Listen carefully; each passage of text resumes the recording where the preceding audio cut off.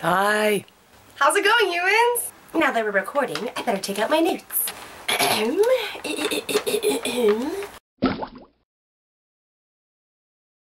How's it? So if this is your first time visiting my channel, my name is Becca, also known as Barbie Marley, and it is super nice to meet you. Aloha! So today I'm going to talk about some posts that people tend to put on social media as their status or as a tweet or whatever the hell you want to call it. Anywho, the things that these people post are ridiculous and there are certain categories that really grind my gears that I honestly just want to never be posted on the internet ever again because they don't belong there and they need to stop. So maybe if I make a video about it, people will listen. I don't know. So I'm gonna go for it. It's worth a shot. So I'm gonna make a list and tell them about you. Hmm? Alright, very first thing that people should not post in their Facebook statuses or Twitter or whatever the hell media status you have is spoilers for TV shows or sporting events or anything that I haven't had the chance to watch yet because I'm at work or doing something and you don't need to be posting things that are gonna tell me what I've been waiting for all day to get excited about and you ruin it for me and I just don't like when people do that shit. And Okay, you know what doesn't count as spoiler alert? When you put the spoiler alert, actually those words like spoiler alert, at the end of your fucking status. Um, asshole, you have to put that at the beginning. Right, the next status that I do not like seeing on the internets is when people post rest in peace, my friend that just died. Okay? I understand that you're bummed that your friend died, but you advertising that to the world is not necessary. And do you want to know something that's really disappointing? When you find out that your close friend died through another close friend on social media. Like, that's ridiculous. That's not the way to find out that your friend died. So you shouldn't be posting rest in peace statuses. Like, I don't feel like Facebook or social media is the place for talking about, for like, learning that your friend died. It's like, la da da, I'm having a nice day. Oh, shit if you really want to give your condolences to a person, because they're not going to see your Facebook status, they're dead, okay? If you want to give your condolences, call up their family and tell your their family that you're sorry. That's that's all you have to do. Not post a stupid rest in peace, attention, Facebook status, please. Next, next, next, next, next is couples that either are really motherfucking lovey-dovey all over each other in social media status, like, oh my god, my boyfriend's the best. He got me this, this, this, and this. He's so lovely. I love you so much, baby. And they like post it on each other's walls and shit, like, ain't nobody give a shit. You can text that to each other or say that to each other's face. Why are you putting that on the internet?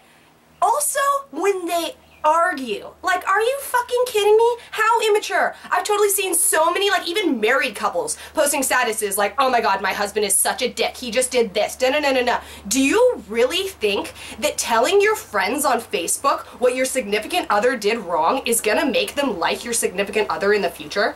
And then later, you're gonna be arguing and be like, why would you post that about me? Why would you make our argument public? Like, I just see no point for couples talking on Facebook in public like, keep that shit to yourself. Get a room. Whew. What up, beep, beep, beep. Another one that really gets to me is when people post a status that is like clearly asking for attention or it happens a lot like for example with pictures like somebody will post a picture of themselves and then the status will I mean like the little caption will be I'm so fat in this picture um, so you're trying to get me to comment, oh my god, no you're not, you look beautiful. Fuck you fishing for compliments. Like, I hate attention-seeking statuses. They really grind my gears. And it doesn't necessarily have to be a picture, like, let me think of an example.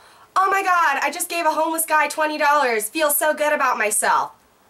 Um, no one gives a shit. You, like, you have to justify the fact that you did something good for somebody by telling everybody so that you're actually just being selfish and you didn't actually do a good deed for anybody, like those, uh, attention-seeking statuses. Pew pew, pew pew. They need to stop. Cease existence, por favor. Okay, another one that gets to me is when somebody posts like, hey, anybody know anybody who's hiring? Go on Craigslist. Go walk in. Go look for that say hiring. What are you doing, you lazy bum, trying to get the easy way out?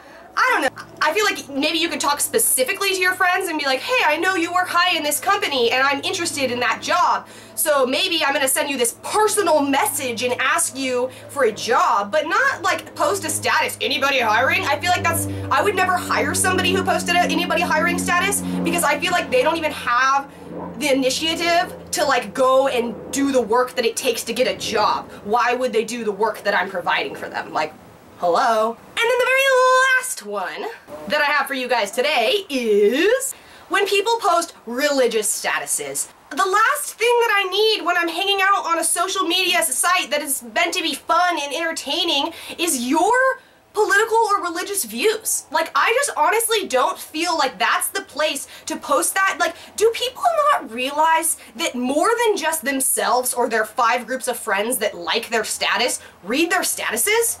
Like, do people not realize that everybody can see that and just because they don't, like, comment on it or like it doesn't mean that they didn't read it? Like, I feel like putting your views, like, I'm sorry, I didn't come to your house or your private place or your church. I don't really care about your religious views. So why are you posting them in a place that's public? Like, I don't feel like that's necessary at all. Uh, at all. It just, it gets to me. I'm sorry. That's one of the ones that gets to me.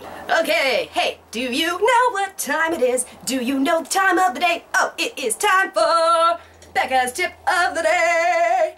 It's really hot in here.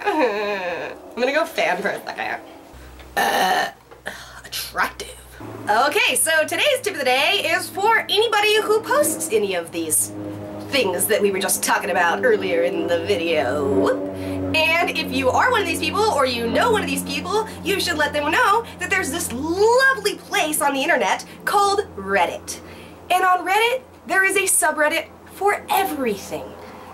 It's not that you can't post the status on the internet, it's just that you're not posting it in the correct place. Social media is not the correct place to complain or talk about any of the things that I was just talking about. When there's a subreddit of other people that care about what you have to talk about. And even if there's not a subreddit for one of those subjects, you can make your own subreddit. So, I highly encourage all of you to go over to Reddit because I don't have to subscribe to those subreddits and I don't have to hear your bullshit shenanigans. Mahalo!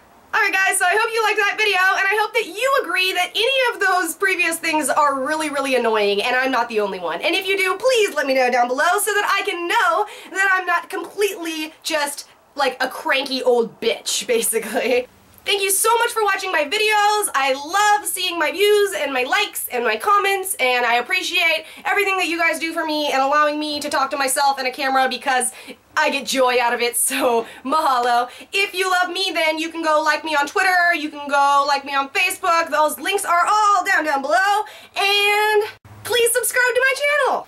Alright humans, I will see you next week. Mahalo motherfuckers.